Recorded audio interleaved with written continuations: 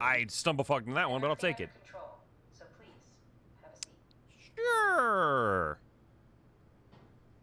Famous ass last words. Go sit in the pilot.